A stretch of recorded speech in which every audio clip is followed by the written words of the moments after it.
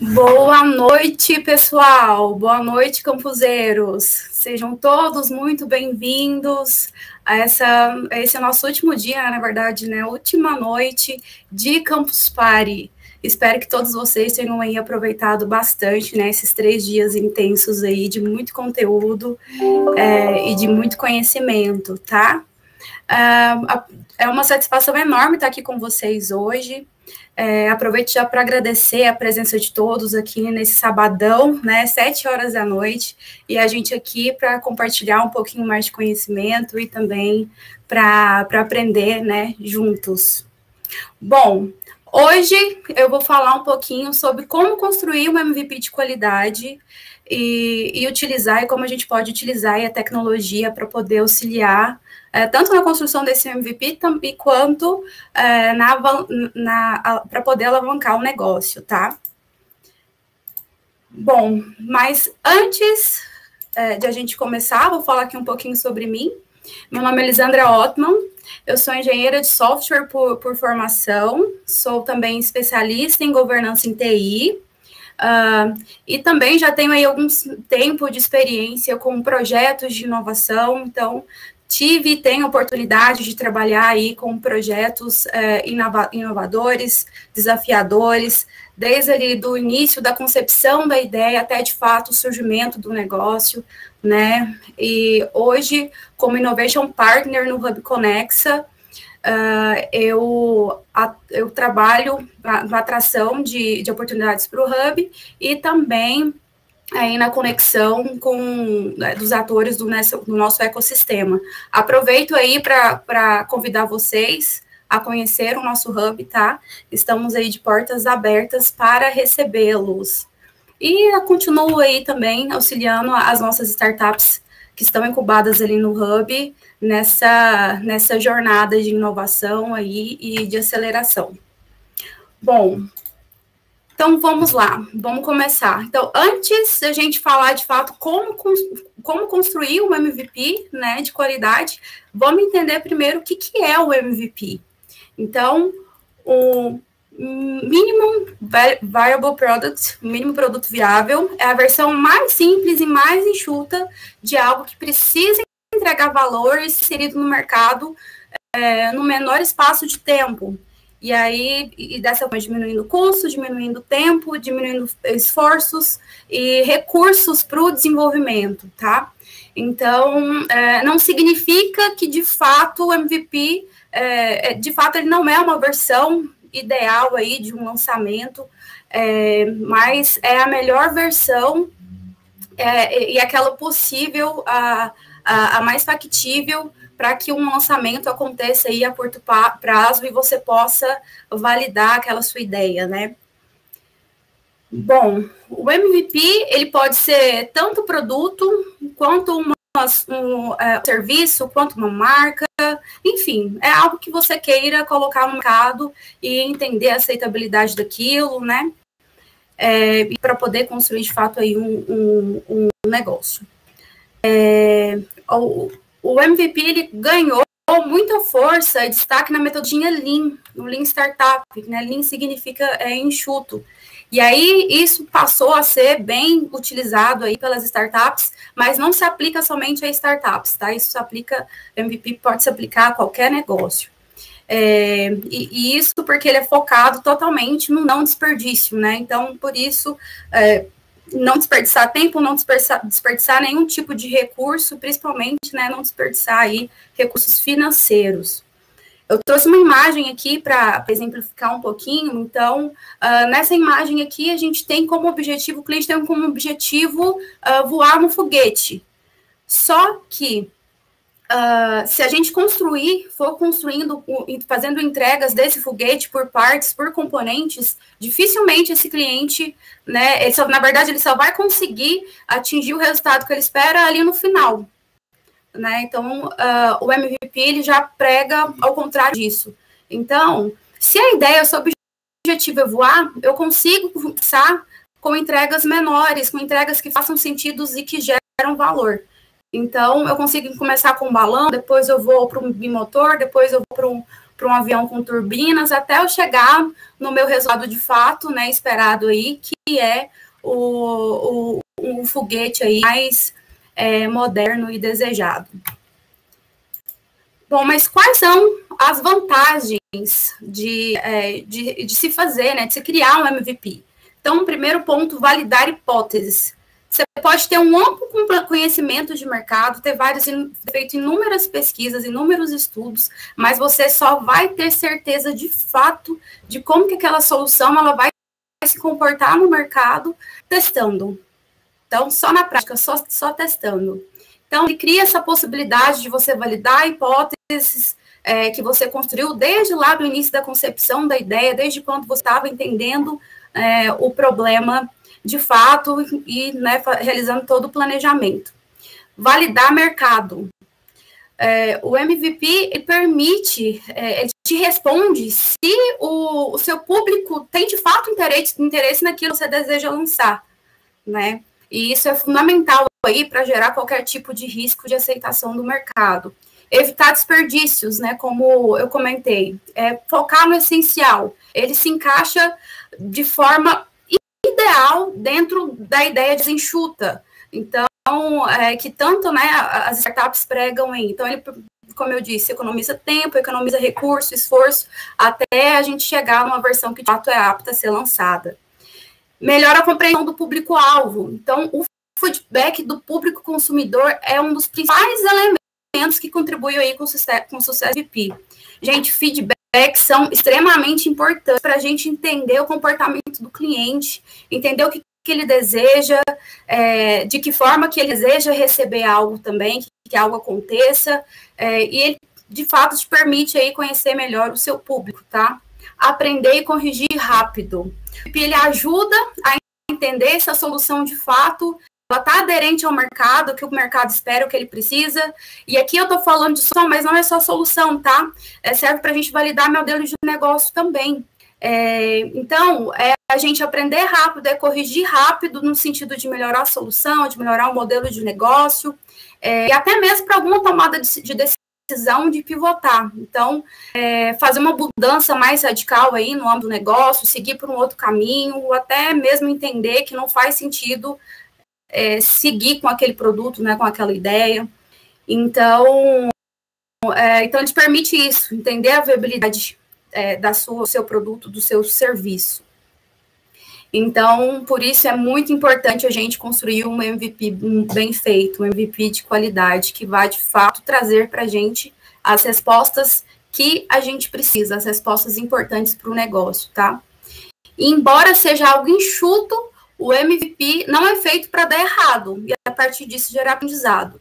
Ele Uh, a gente precisa de fato construir algo com qualidade que vai permitir aí a gente ter uma maior clareza, né? Então sempre faça um MVP bem feito, faça um MVP de qualidade.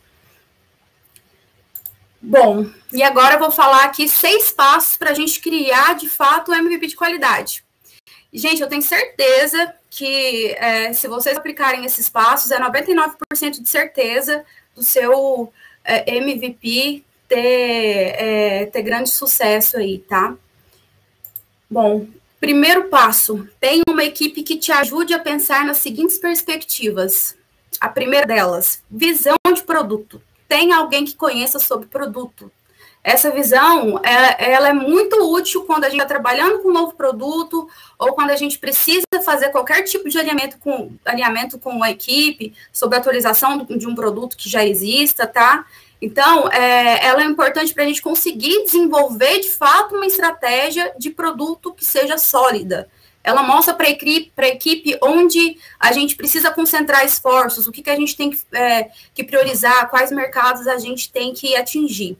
Então, essa visão, ela traz para a gente uma base estratégica para tomar decisões e, e, definir aí, né, estabelecer prioridades. Por isso é muito importante ter uma visão de produto e esse precisa ser o primeiro passo da sua equipe para poder iniciar o desenvolvimento de qualquer, é, de qualquer solução. Visão de negócio.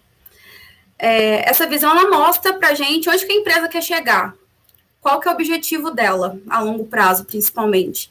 Então, essa visão ela vai ajudar é, vai te ajudar a, a, a, orientar quais ações é, você precisa realizar para o futuro. E, e é essa visão também que consegue analisar seu modelo de negócio, consegue é, analisar a viabilidade financeira. É, é essa visão que conhece do mercado. Então, e falando de modelo de negócio, é muito importante a gente ter um business plan, né? Muito importante a gente ter um plano de negócios, tá? A gente conseguir ter uma visão do todo. E, é, e para isso a gente tem uma ferramenta é, visual é, o chamado o Canvas, Business Model Canvas, que é o modelo mais é, tradicional. A gente também tem o Lean Canvas, que é um modelo mais voltado para startups, tá?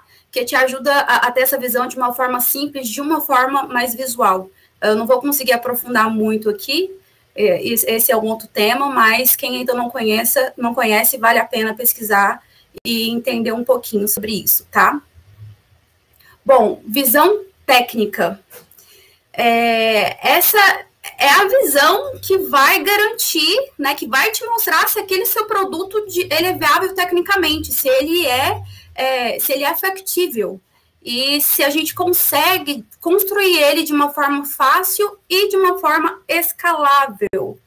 E o que, que é, né, escalável? É a gente conseguir é, atingir mais mercado, mais clientes sem um aumentar os custos operacionais na mesma proporção. Então, esse aí é um dos, um dos, é, um dos fatores que, que as startups, né, e que permitem que as startups é, e alguns outros modelos de negócio também aí é, alavanquem e cresçam rapidamente, tá? Experiência de usuário. Esse é um dos elementos mais importantes para a manutenção da sua marca, tá? Então, o UX, User Experience, como é, como é chamada, experiência de usuário, é o que, que a pessoa sente ao interagir com a sua solução, é o que, que ajuda a facilitar ainda mais a jornada dela, é, seja né, como usuário, seja do seu cliente. Uma boa experiência, ela vai é, ajudar a conquistar ainda mais o seu público é, é, o que facilita a indicação, é o que faz seu cliente ser promotor da sua marca. E a gente tem muito disso, né? De indicar algo que seja bom e também é, não indicar algo que seja ruim, né? Ser um detrator daquela marca, daquela, daquela solução.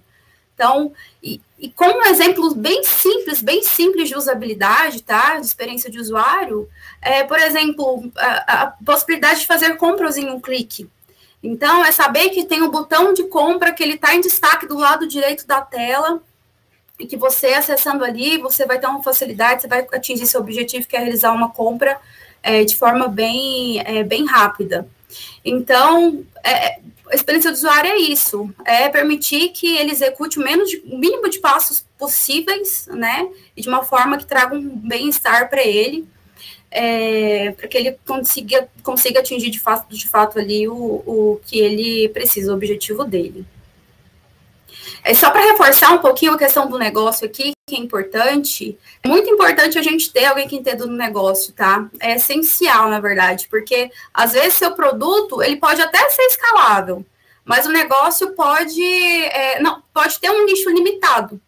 E aí o seu negócio não é escalável né? E isso vai te impedir aí, pode te impedir, enfim, de, de aumentar aí a, a sua gama de clientes, né? Vai, não vai favorecer o seu a alavancagem do seu negócio, o crescimento do seu negócio. Bom, segundo passo, defina muito bem o produto, tá? Então, tem uma, uma visão bem avançada do que é, o seu cliente precisa Vá, vá passar uns dias com ele, é, assista, participa da jornada dele, entenda como as coisas funcionam na prática, faça entrevistas, faça dinâmicas. O importante é você entender o que de fato é essencial para suprir a dor dele, tá? Então, você deve responder o que, que seu produto faz, o que, que ele não faz. Ou seja, você precisa ter as funcionalidades do seu produto muito claras para você e para qualquer pessoa que queira né, entender sobre o seu produto. Então, quais problemas, necessidades, quais as dores é, do seu cliente a sua solução propõe a resolver? É algo que parece tão trivial, mas é, é um dos pontos que empreendedores, empresas aí mais pecam hoje na criação do MVP. É, eles acabam construindo soluções que são para eles. Eles constroem é, para que eles para aquilo que eles acreditam, para aquilo que eles entendem e, e, e acreditam, né, relacionado à, à, jornada de um, de um ator. É, mas não são eles de fato que estão ali no dia a dia, não são eles de fato que sentem a dor, não são eles de fato que, que executam as atividades e tem essa visão apenas né, no de fora, no eu acho. E isso é, é, é, um dos maiores motivos aí de fracassos de, de MVPs, de soluções aí no mercado. É que nem quando, um, um exemplo bem, bem bobo, mas é que nem quando a gente palpita na vida de alguém, né? A gente fala ali uh, para alguém da sua família, ah, é interessante uh, você cursar engenharia de software por causa disso, disso vai ser bom para você. Mas será que de fato é o que a pessoa quer? Será que é de fato que ela precisa? Será que é de fato é, o que vai trazer uma realização pessoal para ela? Então, é, converse, se aproxime, né, esteja muito perto ali do, do seu público para você entender de fato o que, que, o que, que precisa, tá? Então, construa sempre, é, não construa uma solução para você, construa para o seu público-alvo. Uh, qual que é o diferencial dele, né? Qual que é o diferencial do seu produto? O que, que é, ele entrega de valor que outros concorrentes não entregam? Uh, a gente às vezes tem essa percepção de que ter concorrente é ruim, né? E não. Então, o seu produto ele não precisa ser o primeiro do mercado, mas ele precisa entregar um diferencial que seu concorrente não entrega, seja no atendimento, seja na experiência do usuário, seja em, em uma funcionalidade, é, enfim, o que, que vai fazer o seu cliente preferir adquirir sua solução do que a do seu concorrente? Então, o que, que é o seu produto? O que, que ele entrega? O que, que ele se propõe a fazer? É muito importante responder essas, essas perguntas, tá? E aí a gente chega no terceiro passo. Conheça bem o seu público. Crie buyer persona. É, então, o que, que, são esses buyer personas? É, elas são representações fictícias do seu cliente ideal. Entre todos aqueles clientes que compõem o público-alvo, é, quando a gente faz esse trabalho de entender, de criar é, essas buyer personas, a gente consegue identificar os hábitos dos, dos clientes, o que, que eles pensam, o que, que eles comem, onde vivem, na próxima sexta no Global Repórter, brincadeira. É, mas é isso mesmo. É, a gente precisa entender de fato né, o que, que eles uh, enxergam, o que, que eles sentem quando passam por aquela dor que seu, o seu produto se propõe a resolver. E aqui é, tem uma ferramenta que a gente pode utilizar também, tá? Aqui é um mapa de empatia, é, onde você consegue mapear todos esses pontos, o que, que eles enxergam, o que, que eles ouvem, o que, que eles sentem, tá?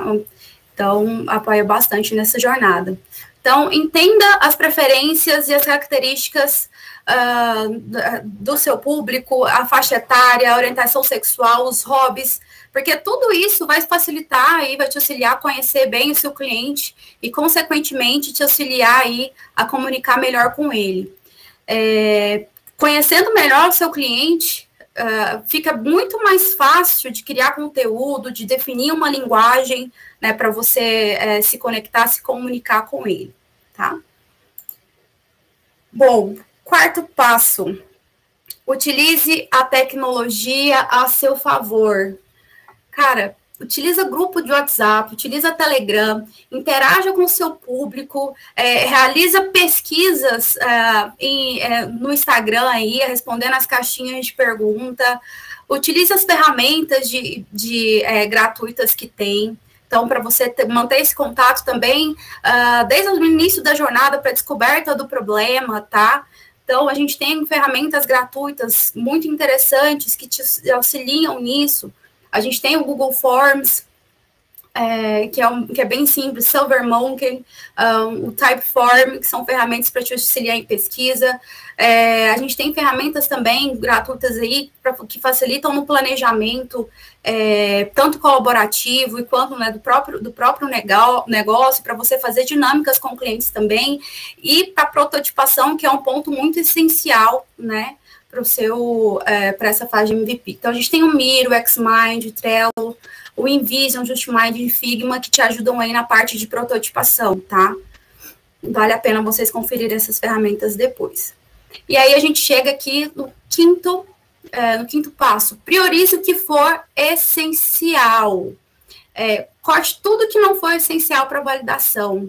Sempre tenha uma funcionalidade que não seja é, de fato essencial, sempre tenha uma forma mais simples de entregar algo, então priorize. E lembre que aumento de escopo é mais tempo, é mais recurso, é mais custo. E no pós-MVP a gente vai ter muito tempo, né, para poder evoluir o produto, é, para poder definir roadmap, enfim, e cada vez mais aí é, ir alavancando seu negócio e o seu produto, tá? Então, priorize funcionalidades. O MVP ele deve ser enxuto, enxuto. Eu já vivi esse tipo de experiência, tá, pessoal? De entregar algo que para a gente era, nossa, uma funcionalidade a mais ali, que era uau. Mas uh, quando chegou de fato ali no cliente, era, no cliente era algo que não era tão prioritário para aquele momento, né? Então, é, priorize, priorize. A gente sempre vai ter um momento para evolução depois. Defina metas e métricas. Bom, é, para quem não sabe onde quer chegar, qualquer caminho serve, né? E esse não é o nosso caso. Né? É um caso para quem constrói MVP, para quem está criando um novo negócio. É, é importante é, a, a, gente saber onde a gente quer chegar. Então, defina metas objetivas, mensuráveis e claras. Defina prazos para essas metas. Uh, defina metas para tempo de pesquisa, tempo de validação, defina, sei lá, um mês para pesquisa com o mercado, e se passou dessa data uh, e não terminou, revisa, define uma nova estratégia, entenda as circunstâncias que não te deixaram atingir esse objetivo, tá? A gente tem, uh, a gente tem um OKR, que é uma metodologia bem interessante, que eu também não vou conseguir aprofundar aqui, mas é inclusive até utilizado pelo Google, é, que são é você conseguir definir metas claras e resultados chaves que vão te ajudar a, a chegar no caminho que você quer, tá?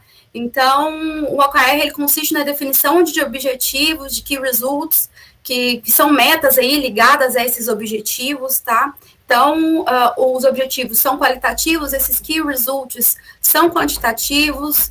Uh, então, um exemplo bem rápido. O nosso objetivo é ter uma base significativa de leads e aumentar em 50% aí o número de leads é, em um trimestre seria um key result. Vale a pena, então, depois deem uma pesquisadinha mais sobre, sobre isso, tá? E defina métricas, defina KPIs, são indicadores de desempenho que vão permitir que você tenha uma visão muito clara e analítica dos resultados da sua empresa, tá, pessoal?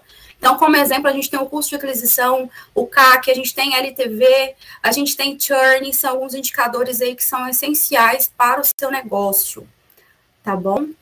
Bom, então valide, valide, valide, seja acompanhando a rotina, seja batendo papo, e principalmente mostrando aí é, por meio de protótipos, faça protótipos bem feitos e com qualidade, não é porque o MVP que tem poucas funcionalidades, né, que não precisa ser bem feito, então, faça de bem feito, faça com qualidade, que o segredo do MVP está em a gente conseguir extrair o máximo utilizando o mínimo possível. Bom, e como a tecnologia pode ajudar a alavancar o seu negócio? De uma forma muito, muito simples, tá? Utilize as redes sociais, comunidades, blogs para manter contato, entregar conteúdo, conecte a pessoas do seu ecossistema, utilize ferramentas disponíveis ao seu favor. Mantenha contato com o seu público mesmo antes do lançamento. Conecte sempre, entenda sempre o que seu público pesquisa, é, o que o seu público, quais são os interesses do seu público. Bom, pessoal, é isso. A gente já está quase em cima da hora, da hora, acho que eu não vou conseguir responder nenhuma pergunta. Mas aqui é o meu contato. É, fiquem à vontade para se conectar comigo pelo LinkedIn, por, por Gmail, pelo e-mail, tá? E muito obrigada pela participação de todos. Espero que tenha conseguido contribuir aí é, com vocês. Tá bom? Obrigada, gente.